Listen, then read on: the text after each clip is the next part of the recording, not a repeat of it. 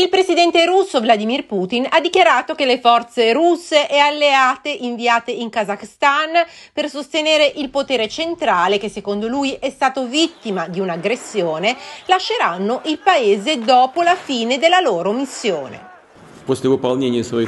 Una volta che il contingente avrà espletato le sue funzioni, si ritirerà dal territorio del Kazakhstan, ha detto Putin durante un incontro in videoconferenza con i suoi alleati, compreso lo stesso presidente kazako.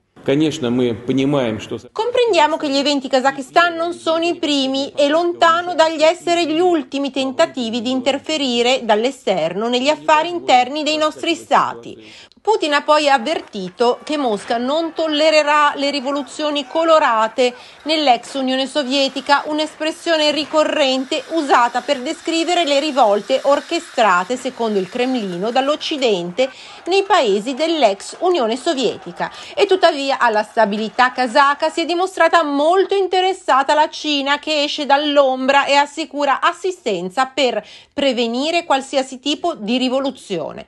Secondo gli Stati Uniti, al di là delle dichiarazioni odierne di Putin, sarà molto difficile per il Kazakistan far ripartire l'esercito russo e Papa Francesco durante l'Angelus di domenica ha affidato il popolo kazako alla misericordia della Madonna.